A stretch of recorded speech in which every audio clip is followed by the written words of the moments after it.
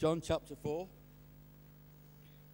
And with the context of this is, is Jesus has met the woman at Samaria, and, and this is Great Expectations Part 2. I spoke on Great Expectations the other week, and uh, to be honest, I can't go much further. There's other things I need to discharge in my message today, and I, I couldn't go any further um, other than to bring you uh, some of this. Jesus said after meeting the, the woman, Jesus modeled life. You know, he didn't turn around and say, right, here's a questionnaire to fill in. Or look at these three points that begin with A. Or he modeled, he modeled how it should be. And he spoke to this woman and he told this woman and he, he, he, he did things that were totally out of the box. And he told this woman he, uh, through divine wisdom and knowledge. And the disciples were kind of little, little bit absolutely so amazed. They, they, at one point, they, the Bible says they daren't speak. They were so amazed at Jesus.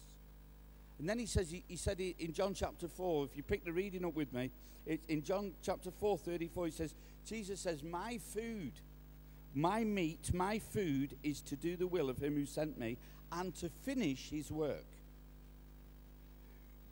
Do you not say four months and then the harvest? Question, it's rhetorical. Of course we do. But I tell you, open your eyes, look at the fields, they are ripe for harvest. Are we looking in the right place? Are we looking where Jesus wants us to look? Because I, I believe we need to be looking at the right thing. We need to be facing in the right direction in our lives and understand that God has called us to be witnesses and God has called us to be ambassadors, messengers into certain communities.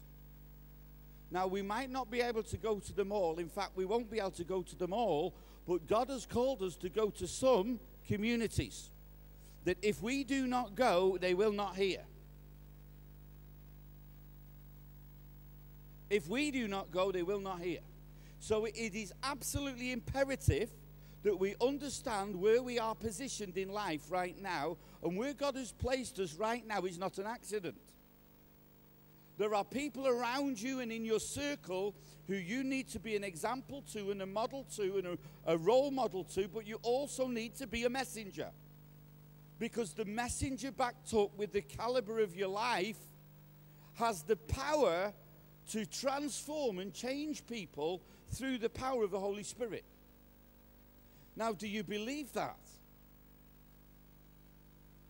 You don't sound convinced. um, just this week, there were three words that, that, that, the Lord really dropped into my heart.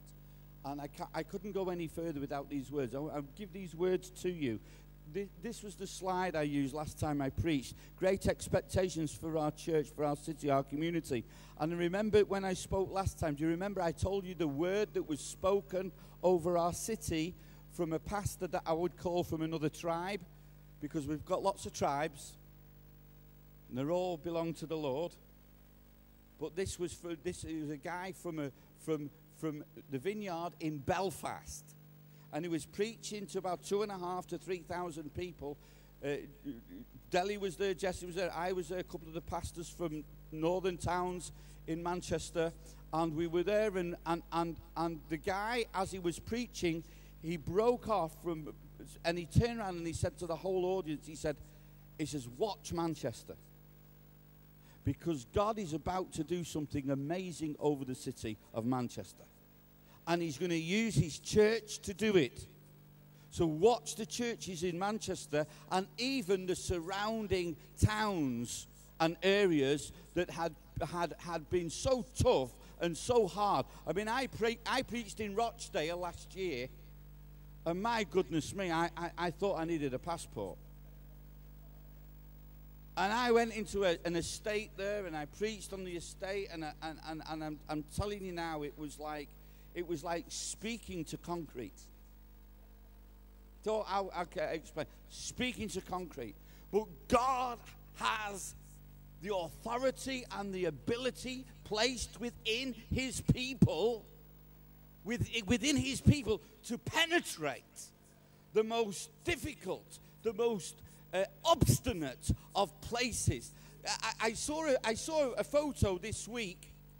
Somebody sent it to me, and there were these beautiful little flowers. And I wish I had the photo now to put up. And they had grown. And you say, well, what's special about those? They just look like a bunch of pansies or whatever, you know. And there they were. They had grown through concrete. That almost it, it defies science, that doesn't it? If you think about it, how can something as soft as a little flower? I'll tell you how: persistence, determination, and they had cracked the concrete and come through.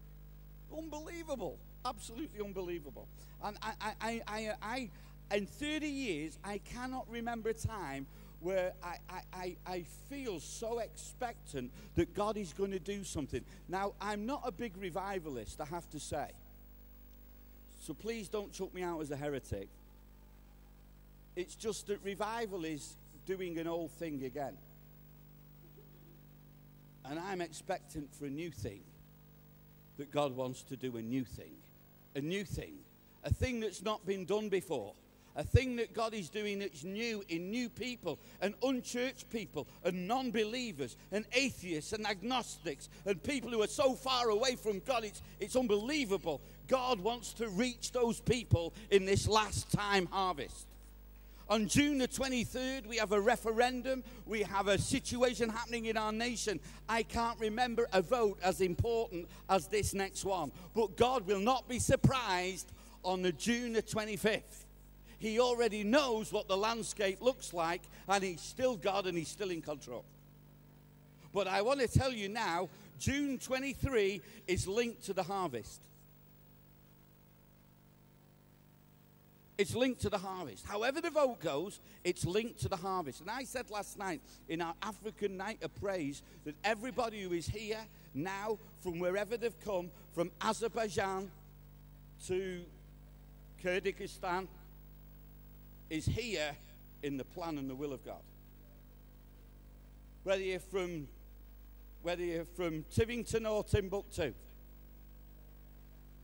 God is in control and He's in charge. God is doing something in the landscape of our nation and in the landscape of our nation and the landscape of our world. Don't kid yourself. People look at it and it's, it looks like an absolute melting pot of chaos. But I'm telling you now, in the midst and over all of that, God is in supreme control. He's in supreme control. And, and, and, and Jesus says, I want you to look up at the fields. And there are very few things that Jesus said, I want you to pray for this. You try and think of anything where Jesus said to his disciples, I want you to pray about this. You won't find many things. Okay, in the Lord's Prayer, lead us not into temptation. He's, he's, asking us to pray over that. He's asking us to pray. But there's not loads of things. He didn't give us a shopping list to pray for. Some people think he did, but they're mistaken. He didn't. He exemplified a lifestyle of prayer to the Father. And he says, My, my food is to do the will, to do the will of him who sent me. And he modeled that through his life, and it was very, very short in his ministry three, three years, three and a half years. And he modeled that. And at the end of Jesus' life, you wouldn't have thought he was very successful at all. Because people forsook him and fled. In actual fact, I've said it to you many times in John chapter 6, the devil's verse, 6, 66, 6 verse 66. It says they forsook him and fled because they were all loving it when he healed the sick and he raised the dead and he, he opened the eyes of the blind and he absolutely loved it. But when he started teaching stuff that meant they had to make some sacrifice and they had to do some stuff that was hard to do, it says they forsook him and fled.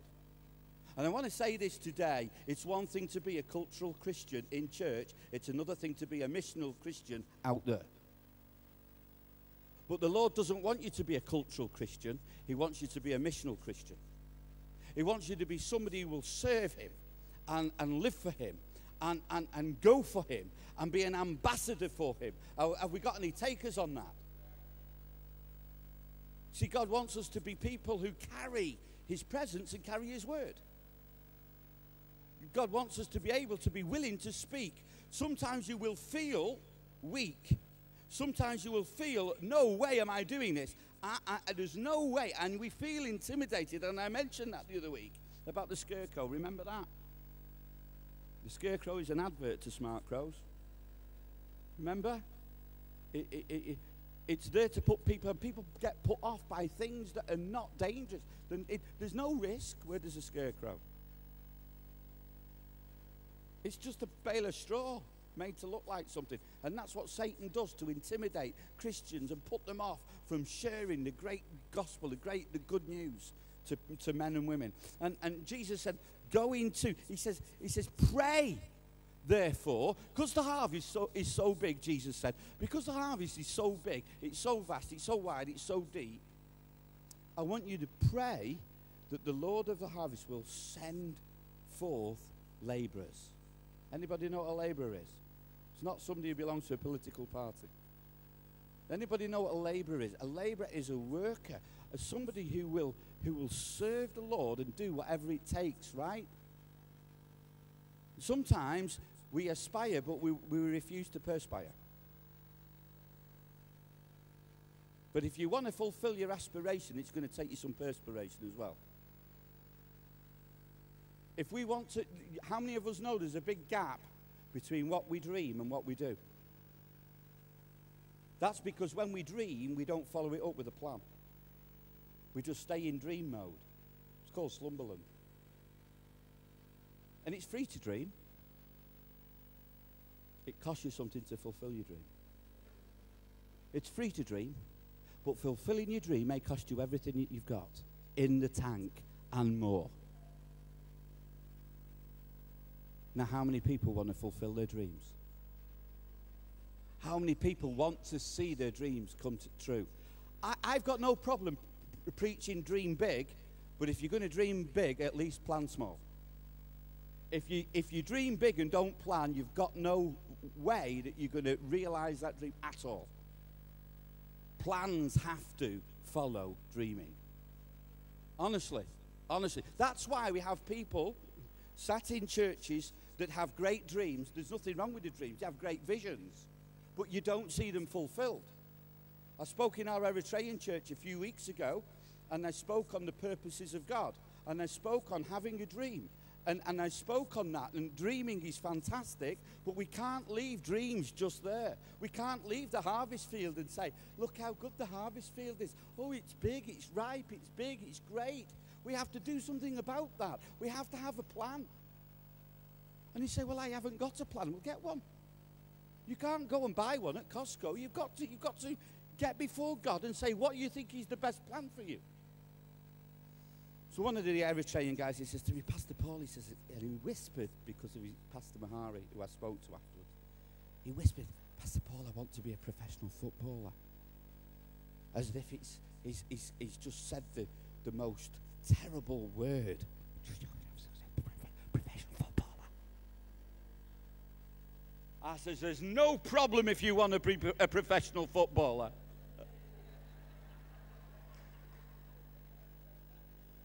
If this is your dream, if this is your goal, go for it. I says, What are you doing about it? And I, actually said to him, I said, Why are you here on a Sunday night if, you should, if your team's playing? Oh, he's, pastor, pastor.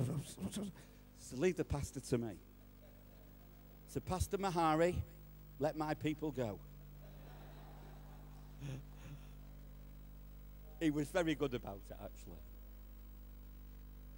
Because every dream, you have to have a strategy and a plan because you have to have a plan to go to fulfill it. Otherwise, it's going to remain a dream.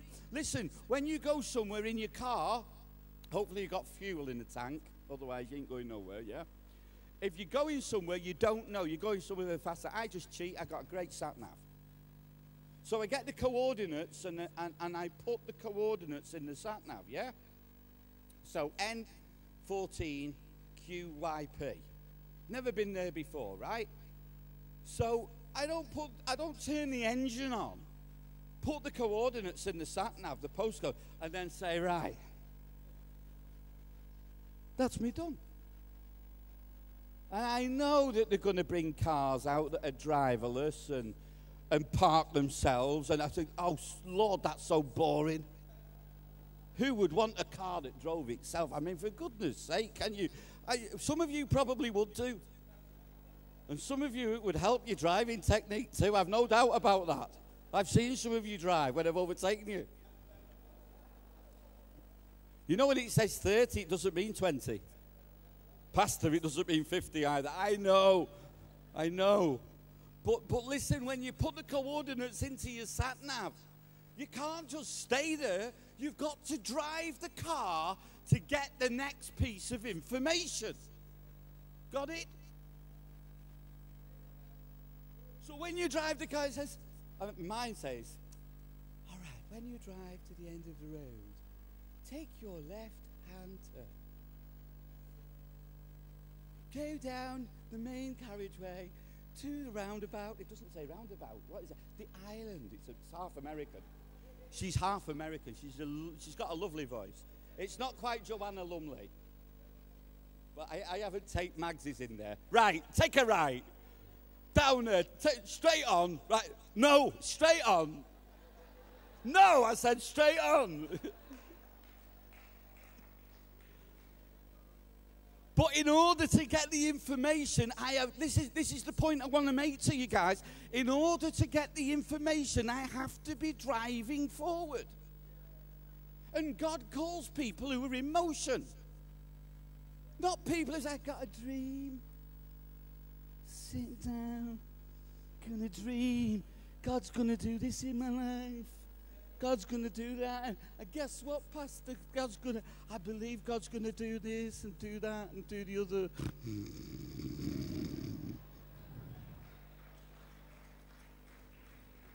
wakey, wakey. What?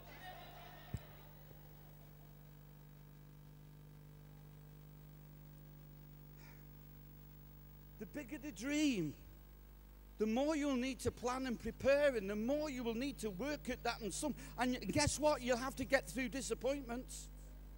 You'll get, you'll have to get through failures. You'll have to get through moments where you trip over your own feet, and there's nobody else to blame but you. Even God can't take the blame for that. Even though you'll try. Oh Lord, what did you do? Lead, lead in my. You put the sat nav coordinates in, not me. But when you put the postcode in, when you and you start to drive, you start to get the instructions. You don't get all the instructions right at the beginning when you're stationary. Why? Because you couldn't take it. You wouldn't remember any of it. So it has to be a step by step process. The problem is, some of us have stepped, some of us have stopped at the third step. And some of us are in that plateau in our lives and listen what the Lord's saying to you. You need to get going again. You need to get back on track. You need to get your life back on track. And yes, you can, this is where the scripture says you can redeem the time if you get heading in the right direction. You won't redeem the time by doing nothing. We redeem the time by giving it to the Lord and say, Lord, I'm going to move forward. We're going to move forward together in Jesus' name. I said before, you know, in, in, terms of cultural Christians, we've got lots of churches, they've got lots of cultural Christians. And what I mean by that is people in Christians in name only. If you gave them a phone, say, oh, definitely, uh, I'm a nailed on the what, I'm a Christian, nailed on, I'm a Christian. But if there was, if you were being accused of being a Christian, would there be enough evidence to convict you? Because just going to church and reading our Bible, even doing the word for today, which is brilliant, it, that doesn't make us what God wants us to be. And listen, listen to this. Church cannot disciple you. Don't ever think that a church can disciple you. Disciples disciple disciples. Disciples make disciples, not churches make disciples. Churches is the collective body come together. That doesn't make you a disciple. Another disciple will enable you to be another disciple.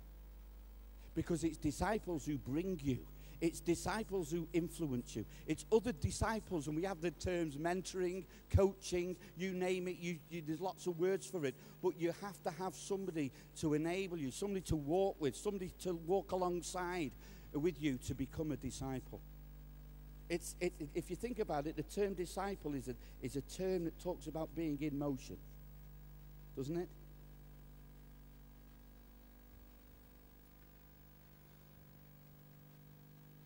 Father, help us to be missional Christians. Oh, God, help us to have the passion. Do you know what I want? I, I, I, I dream to see, and I'm trying to plan for it. I'm preaching for it, and I'm planning for it. I'd love, I said, Lord, will you give us hundreds and hundreds of passionate, persuasive people? Go for it, Nancy. We've got one passionate, persuasive people. Who's a passionate, persuasive person? Woo! Who wants to be a passionate, persuasive person? Hallelujah! Somebody just nearly fell off the seat. They just woke up. Praise God. Get those coordinates in your in yourself. Start to drive in Jesus' name. God will give you what you need. Every step of the way, He will give you what you need to get you to where you need to go in Jesus' name. And, and, and I want to say this now. I, I, I foresee in the future over a thousand people on a Sunday morning meeting together. I don't know how we're going to do it, but we're going to do it. So I don't know how we're going to do it, but we are going to do it in Jesus' name as we start to plan for that, as we start to prepare for that, God will give us the rest of the information. But at the moment, I'm inspired. I've got the inspiration. The information will come next. I've got the inspiration. I'm prepared for per, per, more perspiration. Right? But we're going to go for it. Imagine in this city, a place where several thousand people are. You see, I'm not, I'm not, I'm not a sort of pastor who wants to fill a stadium for an event. No, I'm not.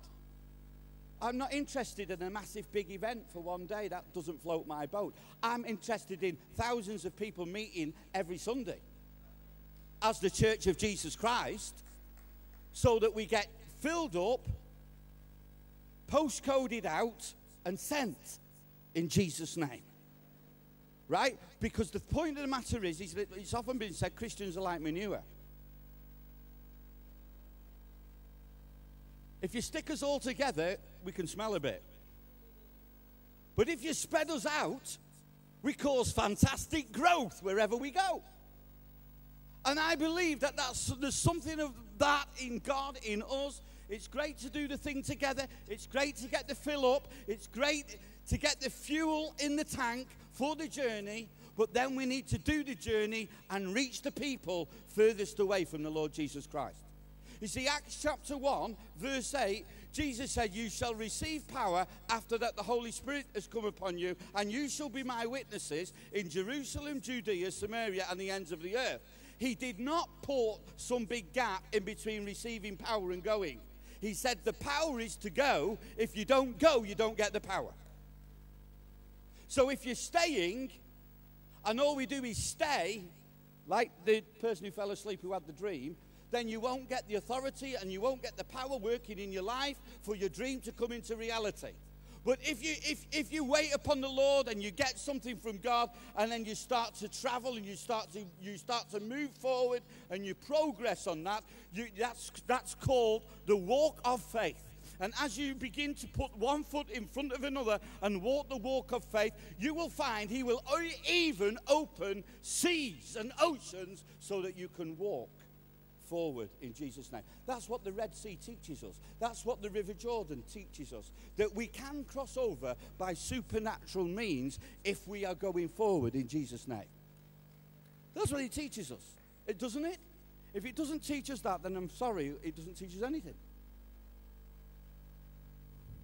Wow. I'm going. Your chicken's burned. But it doesn't matter we can leave it as a burnt offering, can't we?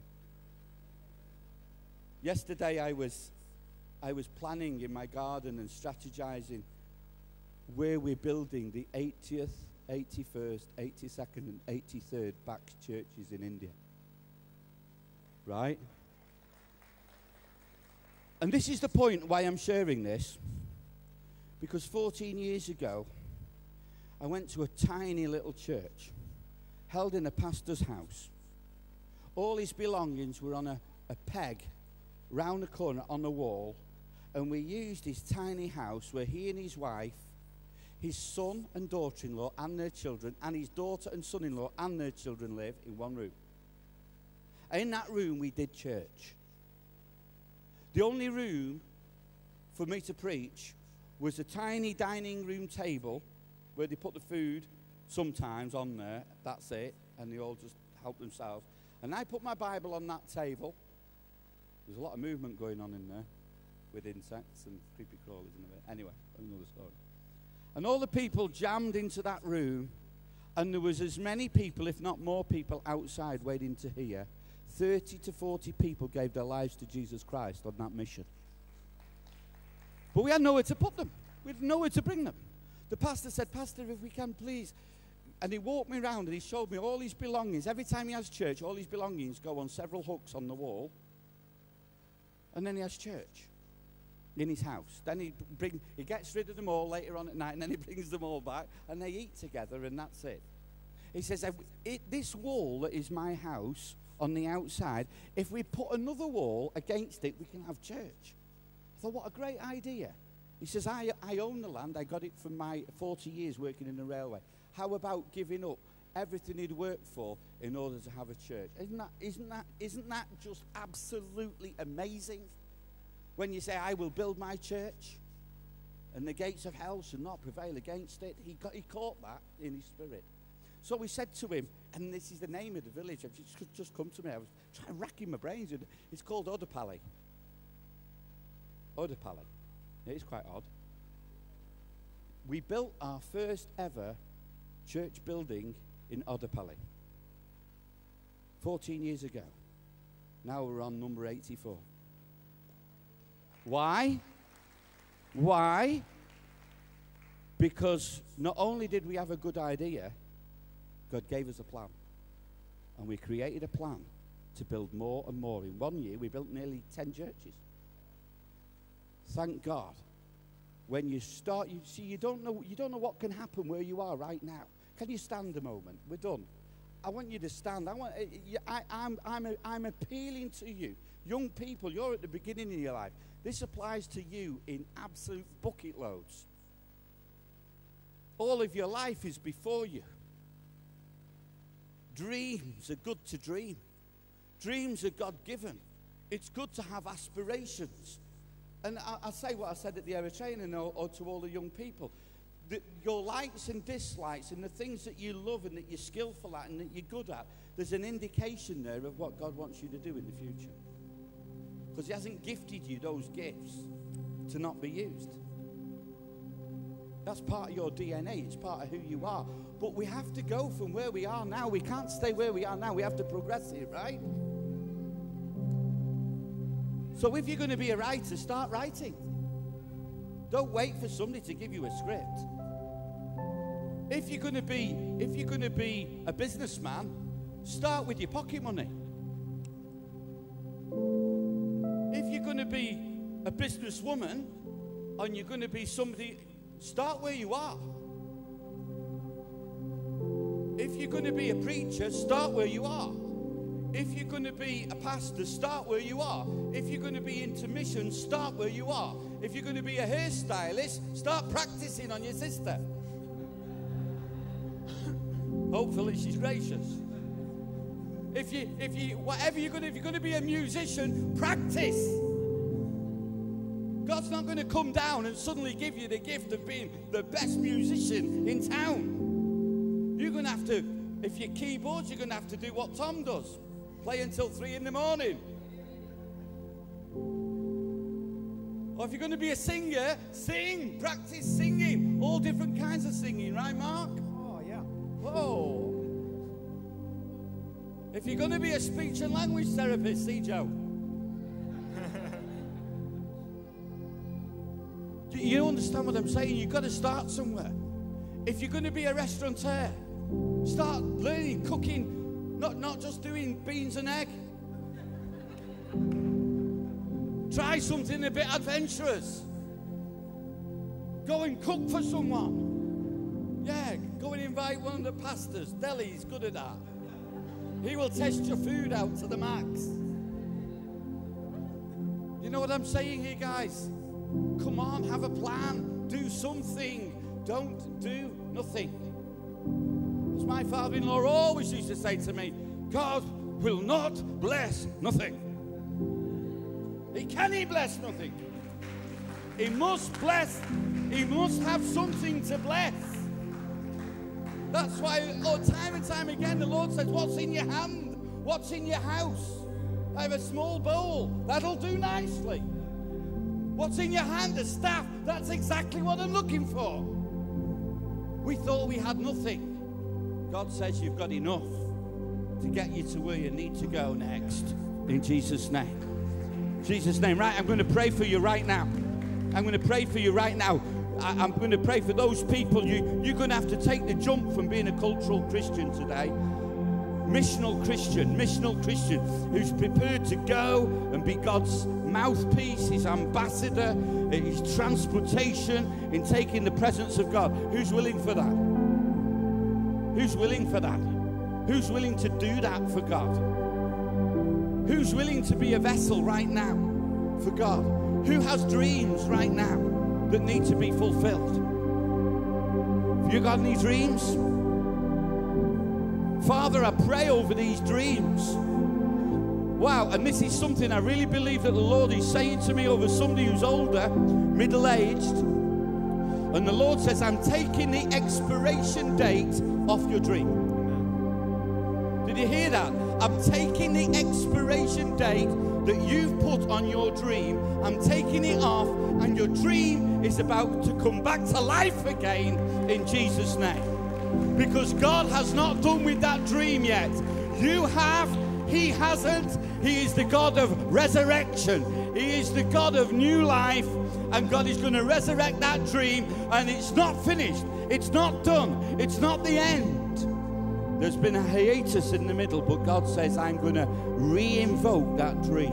I'm going to cause that dream to live again. Wow. Lord, in the name of Jesus, I'm going to pray for you. Young people,